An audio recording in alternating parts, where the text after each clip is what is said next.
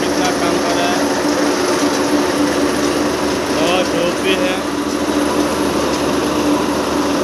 Railway staff rail के लिए कुछ भी कर सकता है।